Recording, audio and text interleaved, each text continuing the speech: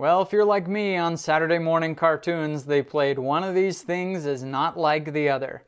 These two cartridges look nearly identical except the bullet size. That's because the top one is the 308 Winchester, the number one most popular bolt action rifle cartridge in existence, and underneath it is the 7mm 08, which is exactly what you would think it is.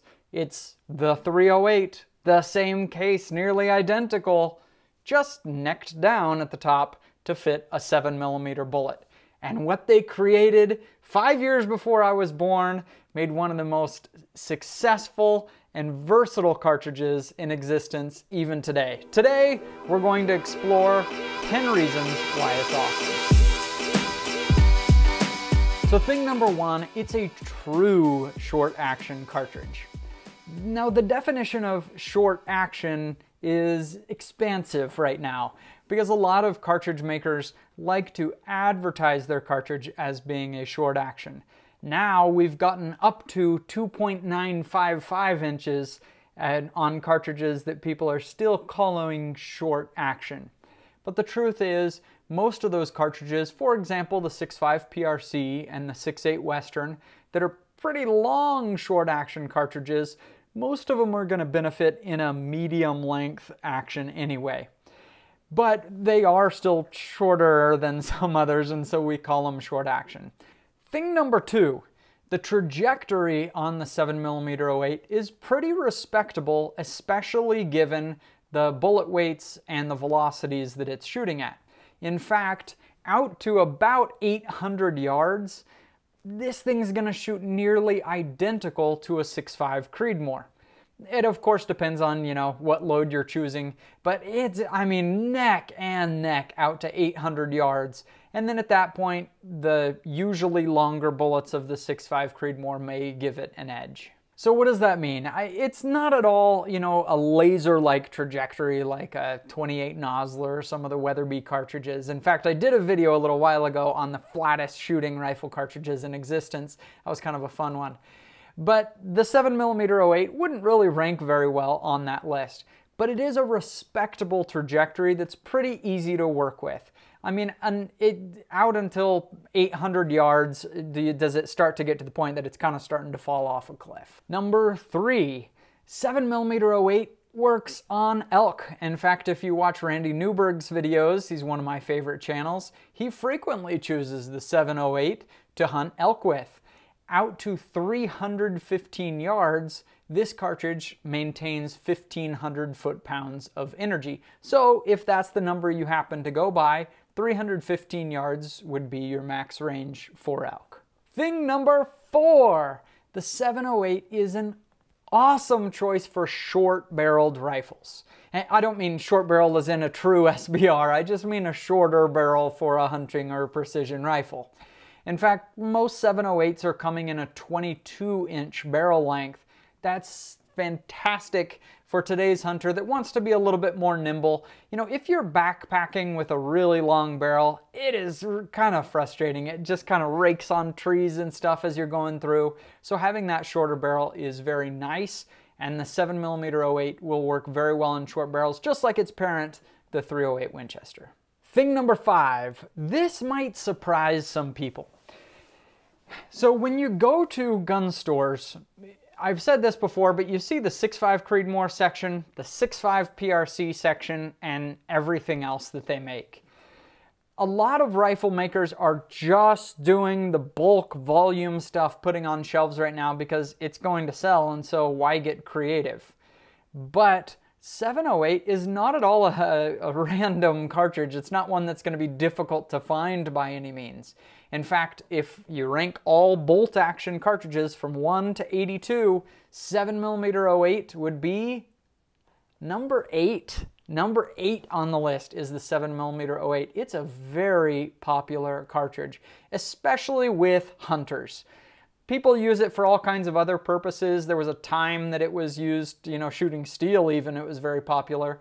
But right now, it's a hunting cartridge, and that's what people are almost exclusively buying it for. And for that purpose, there's a reason why it's so popular. Thing number seven is recoil. If you've never shot one, it really fits somewhere between a 6.5 Creedmoor and a 6.5 PRC, which are common comparisons by today's standards. And so it's very, very mild.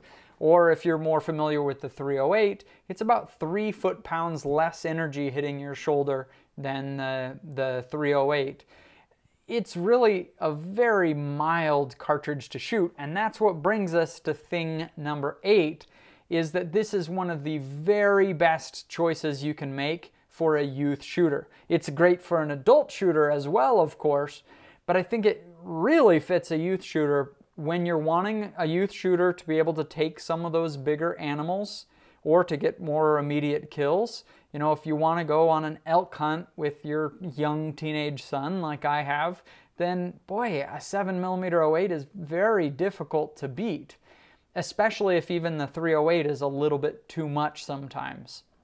It's an excellent choice because the recoil is so mild but and it has enough trajectory if you're shooting out to you know 300 400 yards it's got enough power out to those distances. And so it really is just awesome for mild recoil decent power as a hunting cartridge fits youth shooters and adults very well.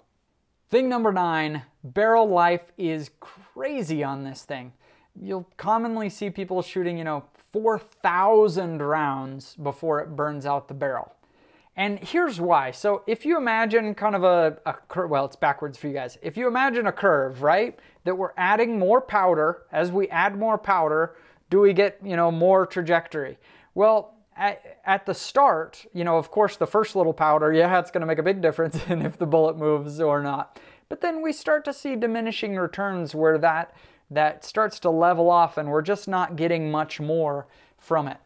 So the 7mm 08 uh, is kind of a little bit before, honestly, we start to get to that point of significant diminishing returns.